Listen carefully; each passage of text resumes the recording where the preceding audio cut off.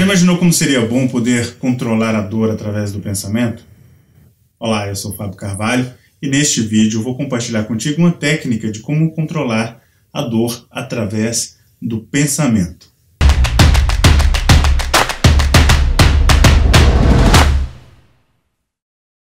Eu publiquei alguns artigos sobre algumas técnicas específicas para o controle e alívio da dor, também alguns vídeos usando a hipnose e a auto-hipnose. Em alguns eu citei o Dr. Ángel Escudero, um médico cirurgião espanhol quem criou uma técnica para controlar dores extremas.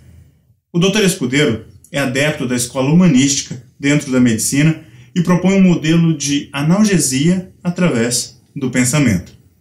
Uma das maneiras de controlar a dor ou de promover uma anestesia psicológica, segundo o Dr. Escudero, é mantendo uma quantidade de saliva na boca. É isso mesmo. A ideia central por trás dessa proposta é que a pessoa, ao ter a boca seca, indicaria ao cérebro alguma forma de medo. Então, mantendo a boca um, com um bocado de saliva, permitiria que o foco de atenção pudesse ser alterado através do pensamento. O Dr. Escudeiro chamou essa técnica de noesiterapia, ou cura pelo pensamento. Noesiologia também é uma outra forma de referenciar isso. É o termo que ele criou em 1977 e basicamente estuda os efeitos do pensamento na nossa vida. A semântica por trás desse termo vem de noesis, ação de pensar, e logos, que significa estudo. Toda a teoria está fundamentada no poder criador do pensamento. E como nós, seres humanos, podemos aproveitar esse poder. Uma das maneiras de garantir esse processo é basicamente através da programação mental. E segundo o Dr. Escudeiro, ao programarmos o nosso cérebro, uma resposta biológica e harmônica é ativada no nosso cérebro. Essa resposta ela pode ser tanto positiva como negativa. E isso vai depender do pensamento existente no momento.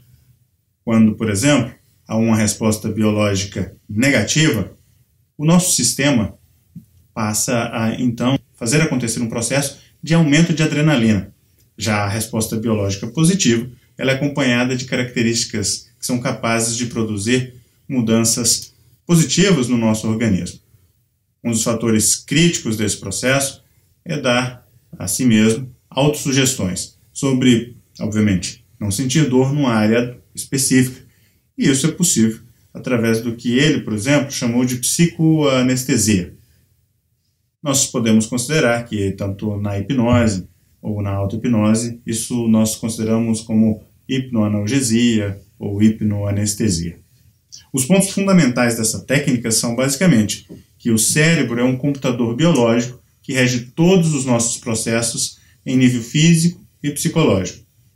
O pensamento ele é um instrumento com o qual nós programamos o nosso cérebro e cada um dos nossos pensamentos ele produz em nosso corpo uma série de reações no nível fisiológico que dão origem à resposta biológica global harmônica, segundo o Dr. Escudeiro.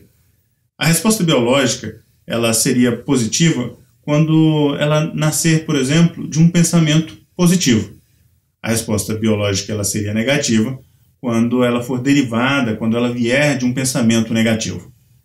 Então, a resposta biológica positiva ela é acompanhada de sinais fisiológicos associados, por exemplo, à tranquilidade, ao relaxamento físico e também ao relaxamento emocional. A resposta uh, biológica negativa ou pensamento negativo, pelo contrário, ela é acompanhada de sinais claros né, com a predominância uh, de altas taxas de adrenalina no sangue, o que significa, via de regra, estresse, seja físico, emocional.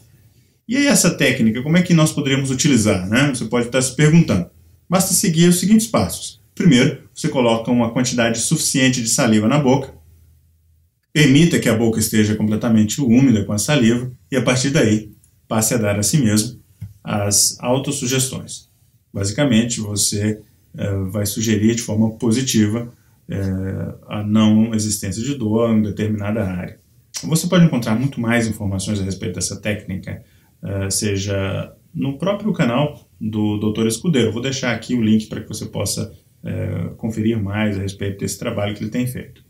Tudo bem, se você gostou desse vídeo, coloque um joinha e Você pode marcar o seu amigo ou amiga, compartilhar nas suas redes sociais. Quem sabe assim nós espalhamos essa mensagem e essa técnica pode ser provada, testada uh, por muito mais pessoas.